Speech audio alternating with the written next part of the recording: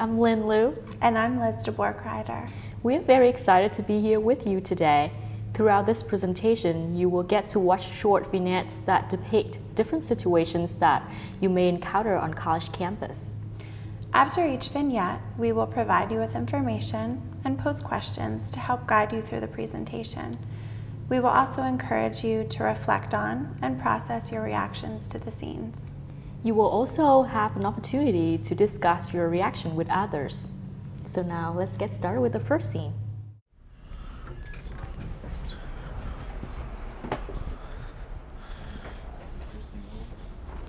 Hey, do you mind if I sit here? Oh, sure thing.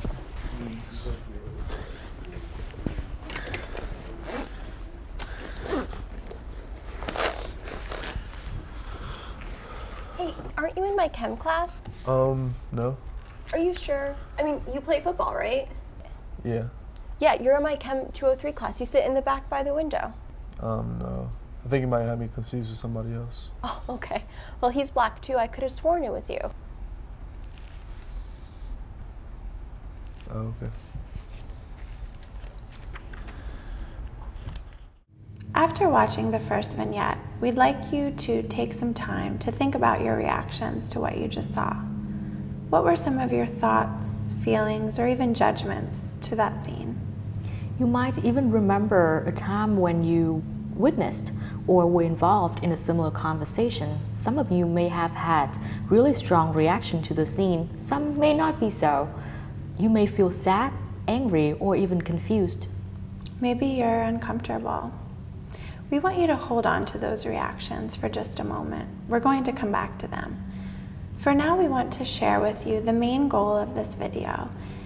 It is to create a medium through which difficult but important and powerful conversations around culturally sensitive topics can occur. We recognize that it can be difficult and uncomfortable to talk about these topics, but we believe that it's crucial to do so. So where do we start? That's a good question. A few moments ago, we asked you to think about your reactions to the scene. We want to come back to those now. In their model for engaging in courageous conversations around race, Curtis and Singleton provide a compass, four ways that people react to information or facts emotionally, intellectually, morally, or socially. And it can be really helpful to understand your own perspective and what drives your reaction.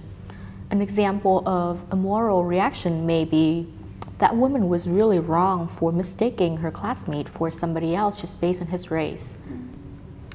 An example of an emotional reaction might be feelings of sadness based on seeing the hurt or frustration in the man's face. And a reaction driven by a sense of social responsibility could be maybe you want to do something about it, taking some action.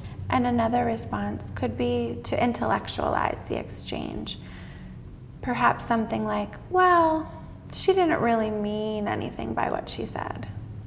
Can you identify your reaction as one of those four, or maybe a combination of them? We're going to turn back to the video and watch another scene. Pay attention to your reaction and keep in mind the four types of responses intellectual, emotional, social, and moral party on Friday or something? Yeah, I think so. I don't know. Really fun. Yeah, I think we should go. Talk to you soon. Love you too. Bye. So how's the family? They're fine. We were just talking about Diwali. Oh, what's Diwali? It's the biggest Hindu festival, uh, also known as Festival of Lights.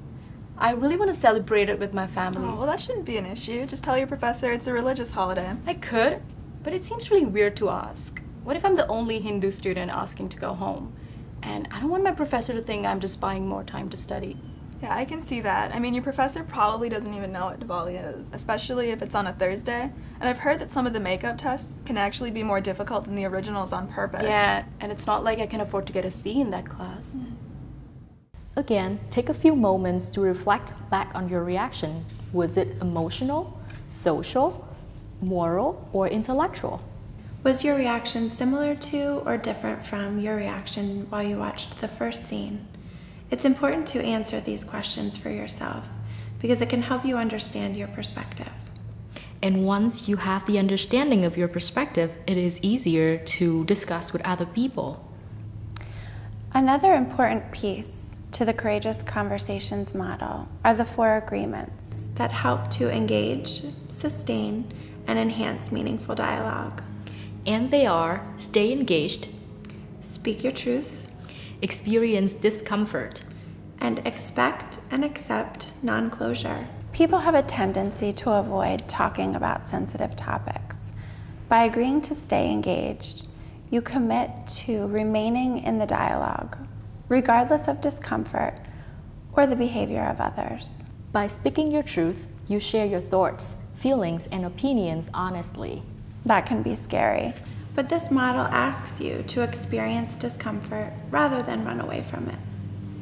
And let's face it, no one enjoys being uncomfortable, especially when discussion can cause you to examine your beliefs, values, perceptions, and behaviors. Issues of discrimination and prejudice have been around for a very long time. We have a natural tendency to search for solutions. However, there is no quick or easy fix. Before we watch the next scene, turn to the person next to you and share which of the agreements would be the easiest for you and which one would be the most difficult.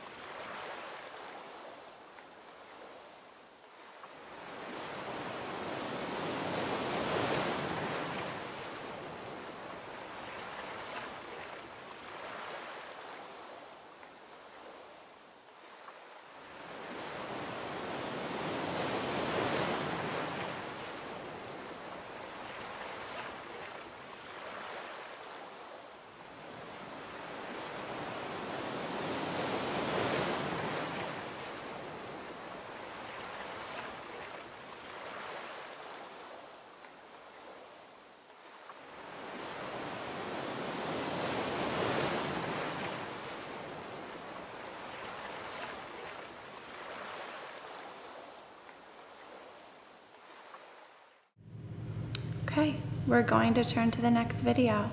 While you watch, please keep in mind the compass to help understand your reactions.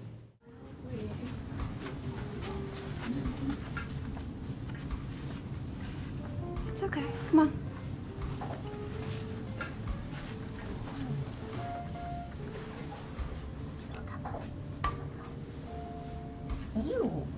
We have to show that in public. It's so unnecessary. I know. Seriously, there's a time and a place for that. No one wants to see it. Hey, ladies. Can I get in on that? You know, anytime you need some company, just give me a call. I told you. Excuse me? So when did you realize you were gay? We understand it can be difficult and uncomfortable to talk about culturally sensitive topics in an open and honest way. However, we think that by talking about sensitive topics, rather than avoiding them, we can bring about positive results. Discussion can lead to enhanced relationship and improve understanding between individuals from different cultural groups. It can also prevent stereotyping, especially when you try to understand where the other person is coming from. And that's called perspective taking. Think back to the scenes that you just watched.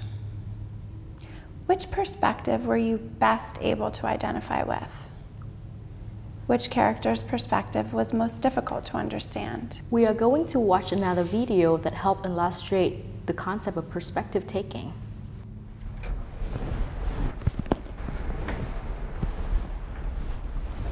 Hey, do you mind if I sit here? Yeah, sure, go ahead. Thanks.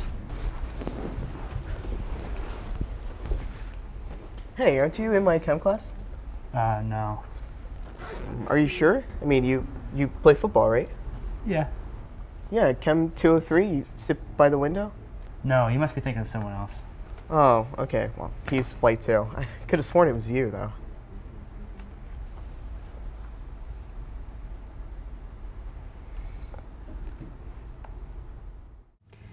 That was an interesting scene.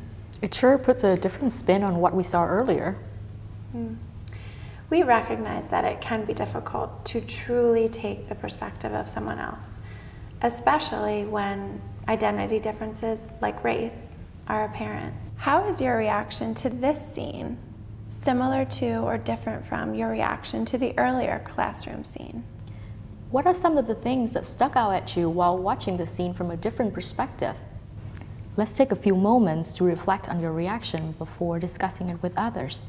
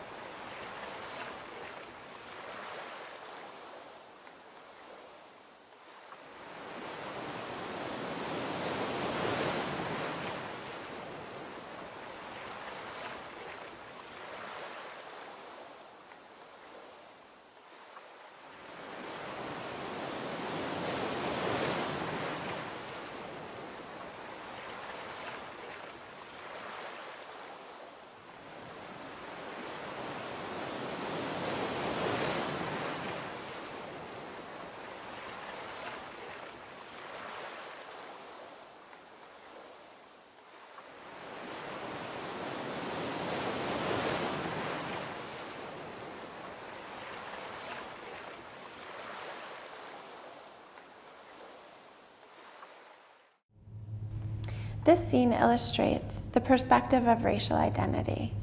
And although we show the perspective of two different racial identity groups, they are not exhaustive. And we hope that even if your race is not depicted, you may be able to relate on some level. Let's watch another scene. Okay. I think on Friday there's a party. Talk to you soon. Love you too. Bye. So how's the family? They're fine. We're just talking about Easter. What's Easter? Easter is a Christian holiday where we celebrate the resurrection of Jesus Christ. And I'd really like to go home and be with my family that weekend, but I have a physics test on that Sunday. Oh, that shouldn't be a problem. Just tell your professor it's a religious holiday. I could, but it just seems weird to ask. What if I'm the only Christian student, like, asking to go home? And I don't want it to seem like I'm just trying to buy more time to study. I can see that. I mean, your professor probably doesn't even know that it's Easter, especially if it's on a Sunday. And I've heard that the makeup tests can actually be more difficult than the originals on purpose. Yeah, it's like I can actually like, afford to get a C in the class. This scene, like the last one, shows us a perspective that we don't see very often. There is a privilege that comes with identifying with a culturally dominant group, like white, heterosexual Christian. Let's turn to our last video and watch another example of shifting perspectives. Again, we encourage you to try to take on the character's perspective while watching the scene.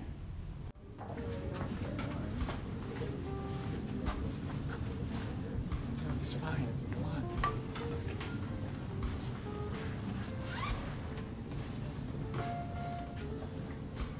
You. Why do they have to show that in public? It's so unnecessary. I know, seriously. There's a time and a place for that. No one wants to see it. Hey, can I get in on that? You know, anytime you need some company, just give me a call. I told you. It's fine. Excuse me. But when did you know you were straight? We want to give you some time to discuss your reactions to the last few scenes and to the video as the whole. It is okay to feel frustrated or confused. Cultural perspective taking takes some time and practice. And so does engaging in courageous conversations. But doing so can help to decrease biases and stereotypes. First, understand your perspective and biases, then discuss your perspectives with others with an open mind. It is our hope that by watching this video, you can continue to engage in meaningful discussions in your everyday life.